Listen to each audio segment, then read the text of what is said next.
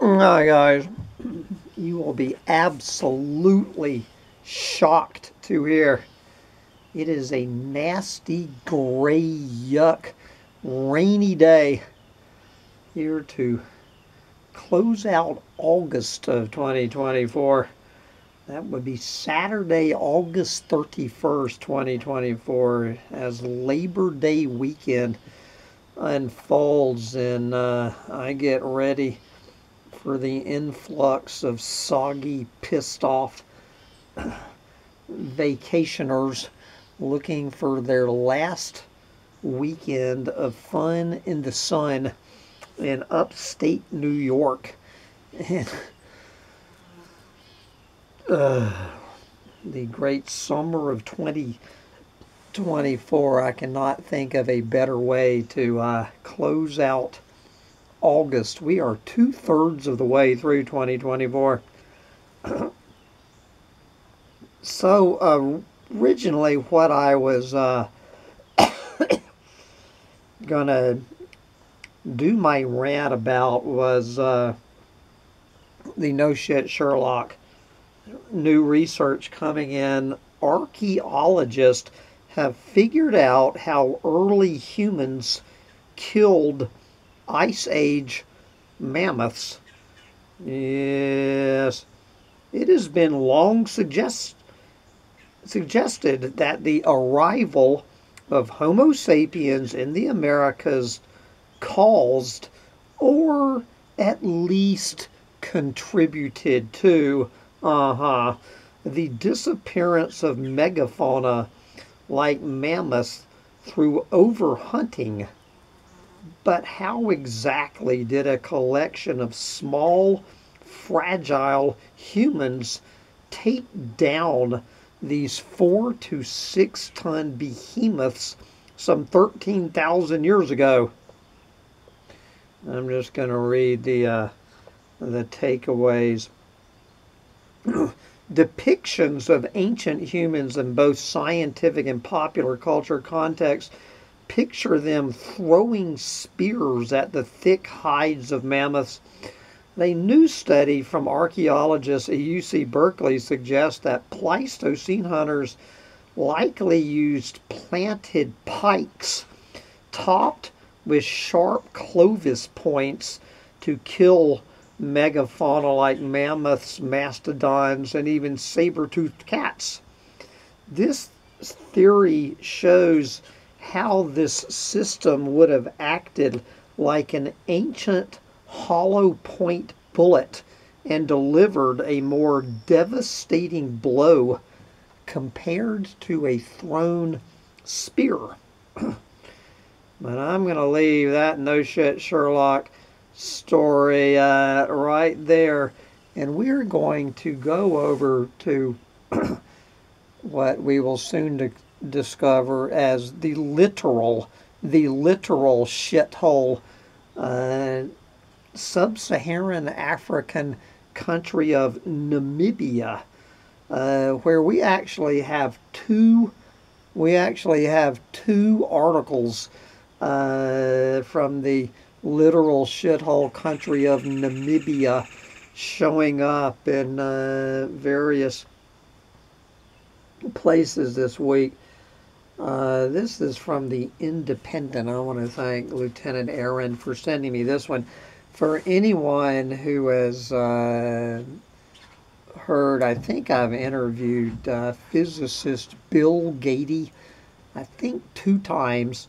Uh, you know, and his hypothesis is that what is going to cause the sixth mass extinction is simply we are going, that humans are going to eat every single one of our fellow earthlings as the collapse of everything uh, it just starts to happen around us. You know, economic collapse, climate collapse, all of these collapses, and uh, people can't grow their own food, or more likely in countries like Namibia, that uh, the rest of the planet will just get sick and tired of sending them more and more food aid to breed more and more people who never should have been born that what do you think they're going to start doing?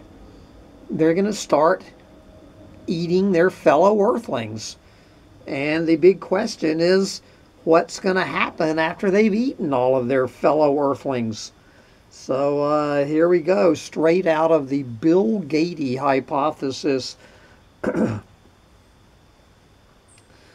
Namibia will call, call, that's another word for kill, 83 elephants and 30 hippos to distribute meat to people hit by drought. 157 animals have already been hunted by professional hunters. Yes, I don't know whether they were using uh, Clovis points or real hollow point bullets. but that's not all. Namibia, you know, the, the, the government of Namibia plans to cull, otherwise known as kill, 723 wild animals, including 83 elephants, and distribute the meat to people struggling to feed themselves because of a severe drought across southern Africa, the Environment Ministry said. And, and, and guys, it goes without saying uh, that the word overpopulation or even the word population never showing up in this story or the next story we're going to get into about Namibia being the one of the literally one of the biggest shithole countries on the planet. Never, you will not hear uh, the words overpopulation or population, but just so you know, uh, when I was born about 65 years ago, uh, there were about a half million uh, humans living in Namibia, uh, and now there are over 3 million people living in Namibia. So, what's that? A six fold increase in the human population uh, in pretty much in my lifetime. But the, the reporters, the editors, the publishers, this article is from the Independent over there in England, uh, have no interest in. Uh, in putting in this little inconvenient truth about uh, is there any link to overpopulation in this story? So, anyway, we have 723 wild animals going into the stew pot uh, in Namibia. I, I, I mean, being provided by the government to feed uh, all of these starving people who never should have been born as they uh, deal with this mega drought, which may or may not have been caused by humans. Okay, the cull, otherwise known as the kill, will take place in parks. You know, where else do I find a bunch of docile animals? Go out and send a bunch of hunters out into your national parks and start killing things in parks it and communal areas where authorities believe that animal numbers, huh, that non-human numbers exceed available grazing land and water supplies, it said in a statement issued on Monday. The country also plans to call 30 hippos, 60 buffalo, 50 impala, 100 wildebeest, 100 eland, and 300 zebras. Southern Africa is facing its worst drought in decades, with Namibia having exhausted 84% of its food reserves last month, according to the United Nations. Nearly half of Namibia's population is expected to experience high levels of food insecurity in the coming months. Yes, and uh, and, and, I like uh, this delicately worded sentence. With such a severe drought, human wildlife conflicts are expected to increase if the authorities do not intervene. The Environment Ministry said it.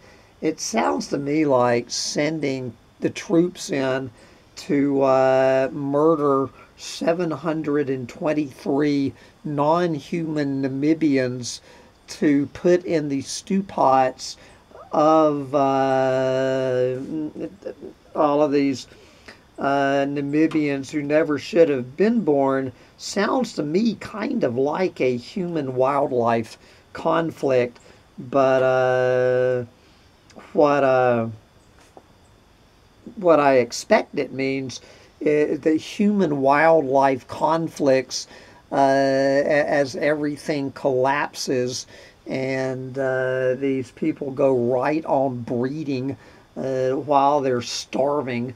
Uh, is that more and more people, uh, more and more humans are going to start uh, taking their stomachs into their own hands and killing their fellow earthlings. That's probably what human wildlife conflicts means in this instance.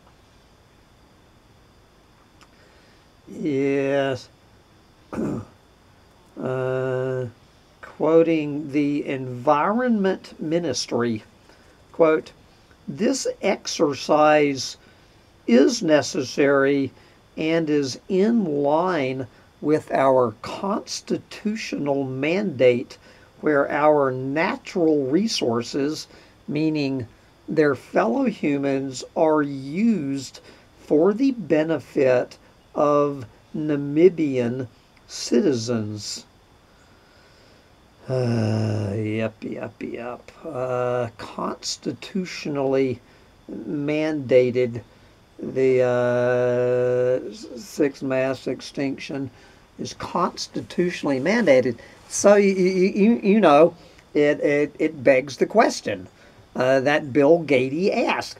Okay, so the government of Namibia goes into their national parks, guns down, uh, let's call it 800 non human uh, Namibians, uh, parcels it out among 3 million people.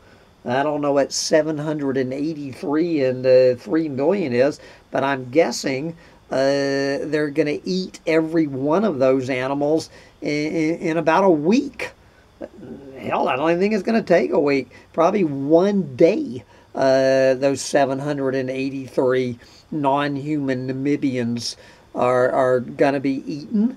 And uh, so the people can go right on breeding. Uh, but anyway, we're going to li- literally draw the dots between all of that meat eating and this long book length story, which I guess originally uh, came out in what's Earth Food Life. Um, there's, I, I, I, mean, a book length story, and uh, I, I just read the opening few paragraphs and and, and the end of it. Good Lord, I, I I cannot believe one human on this planet made it uh, one fourth of the way through this story. But anyway, uh, if anybody is looking uh, at what the collapse of everything is going to look like, uh, I have been saying since I first went down this rabbit hole 16 years ago. Uh, the the postcard, the snapshot of collapse you look towards sub Saharan Africa for what collapse is going to look like. so we're going to go from eating our fellow earthlings to shitting them out. Sanitation in Namibia is a catastrophe for its people and environment. More than a million Namibians lack adequate access to toilets, resulting in one of the world's highest rates of open defecation. There you go. Uh, from the introduction to this book length article uh, by Freddie Clayton. Freddie looks like a nice guy. From the outskirts of cities to the most rural parts of the country, more than 1 million Namibians lack adequate access to toilets, and they are often faced with only one option open defecation you know, just mean, you know, just shitting wherever you happen to be standing. According to the World Health Organization and UNICEF, in 2020, I guess is the most recent uh, year that these figures are available, Namibia ranked sixth. I don't know what the top five are.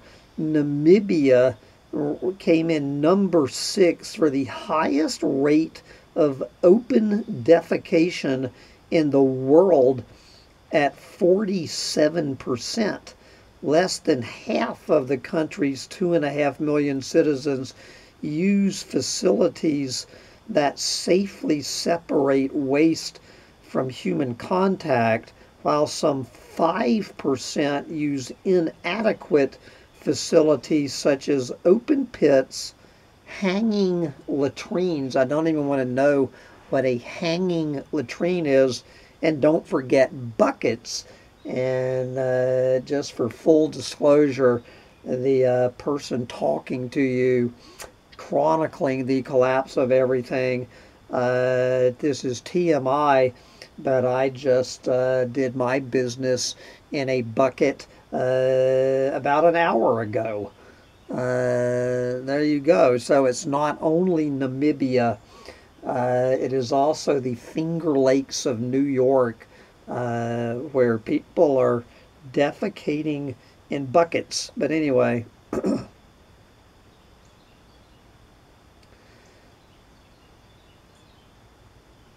Uh, the consequences extend far beyond foul odor.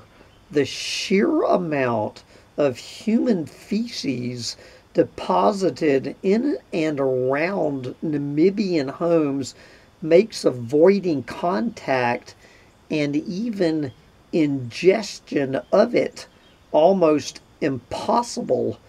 Excrement litters the ground between shacks where children who never should have been born play, and flies travel freely from waste to fluids and food as feces seep into the environment. Crops and vital water sources used for drinking, cooking, and fishing are contaminated. These conditions put Namibians, especially children who never should have been born, at risk of deadly fecal oral diseases. Oh, God. Uh,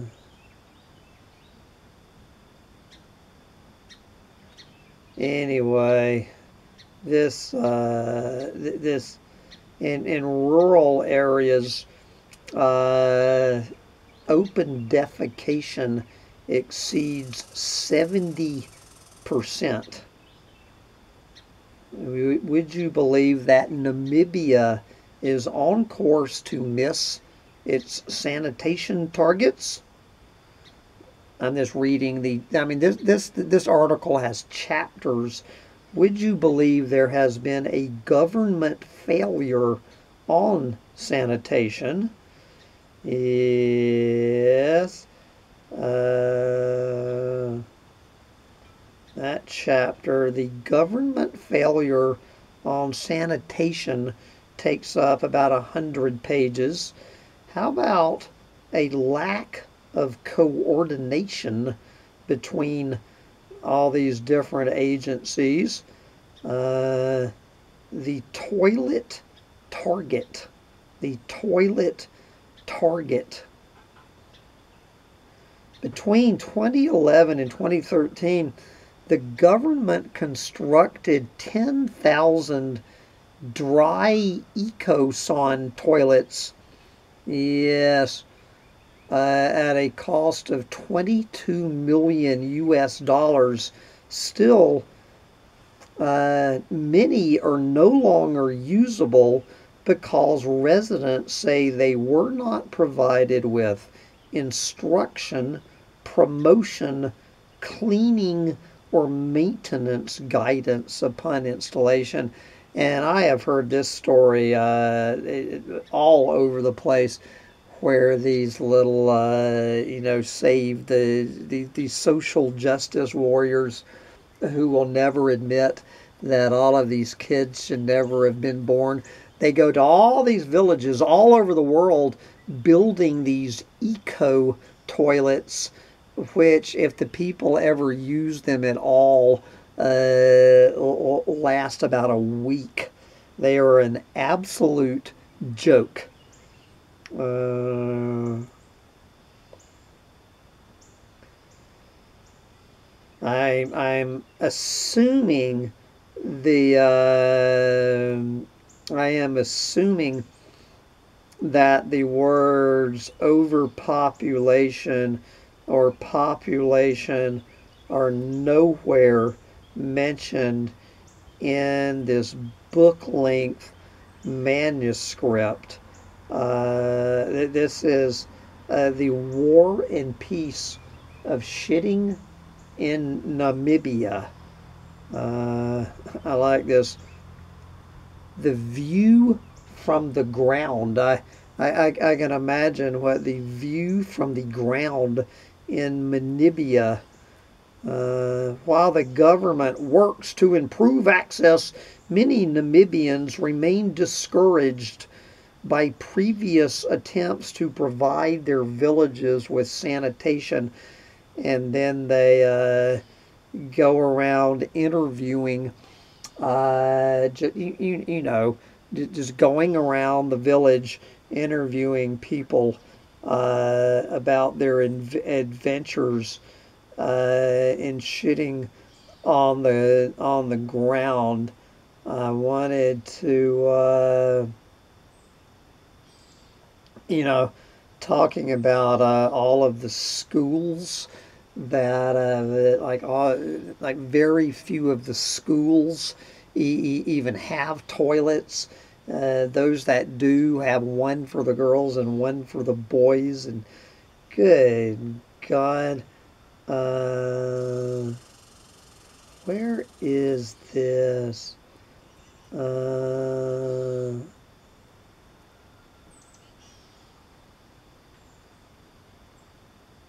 okay.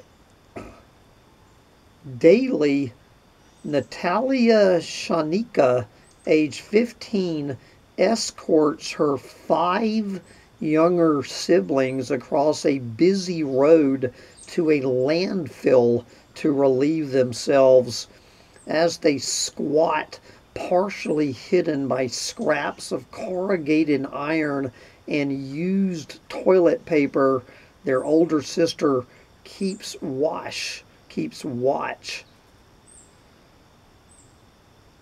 Quote, I guess she has two older. We are a family of eight. This is the, the 15 year old uh, girl. Quote, we are a family of eight in a shack in a community that has no water points or toilets. Yeah, said Sean, Shanika. Uh, together with our parents, we relieve ourselves in the dump behind our home. When I'm on my period, it's the same place I use as a toilet and where I throw my used pads, she added.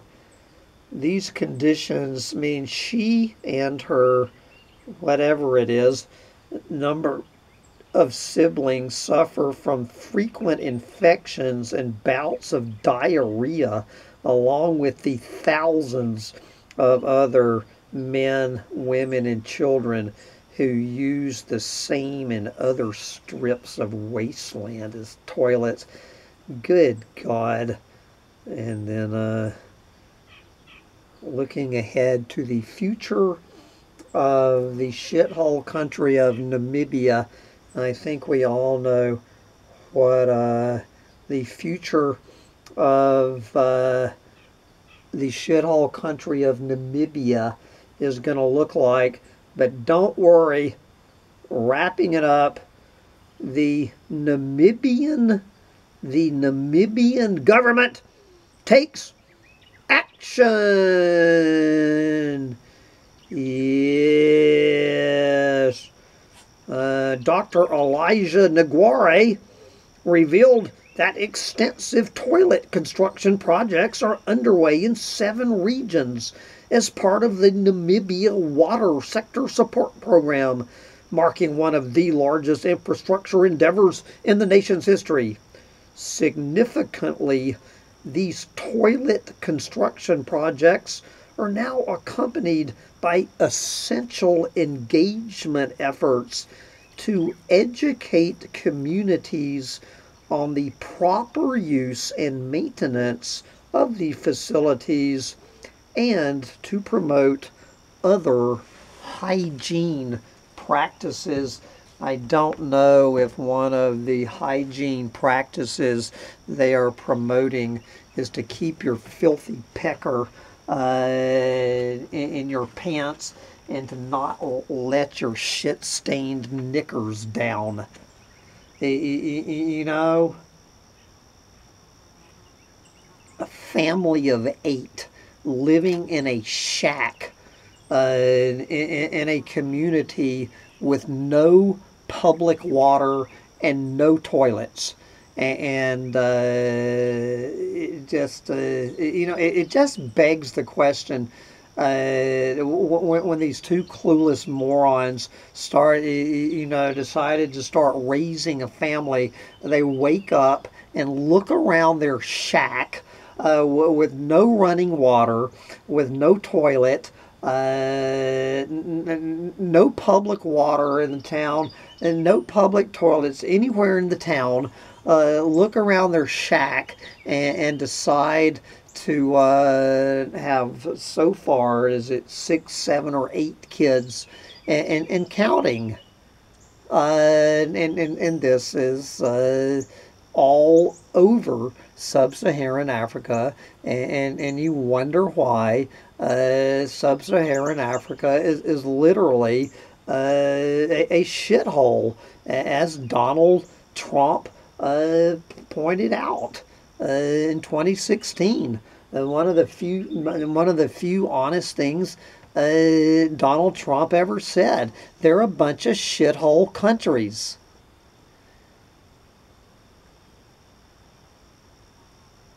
Half of the population, which is six times as big as it was when I was born, facing extreme food insecurity. So, where the hell do you think the food's coming from?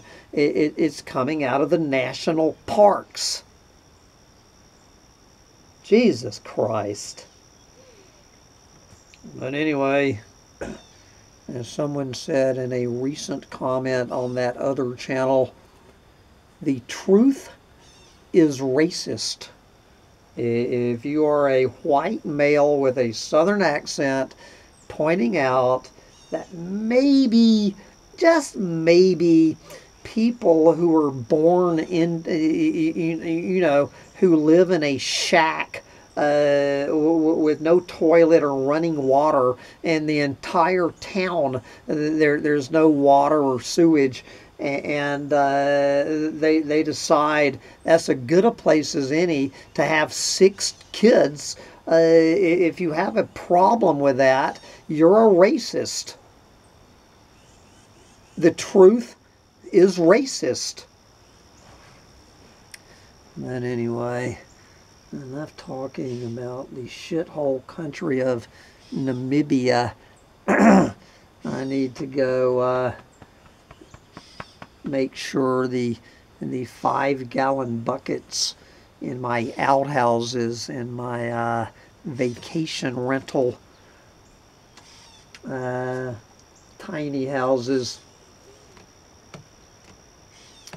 are cleaned and ready for the flood of wet, soggy stragglers showing up here in about an hour to uh, celebrate the end of summer uh, on another rainy, depressing summer day in 2024. Get out there and enjoy your own five gallon bucket and your own elephant short ribs while you still can. My guys.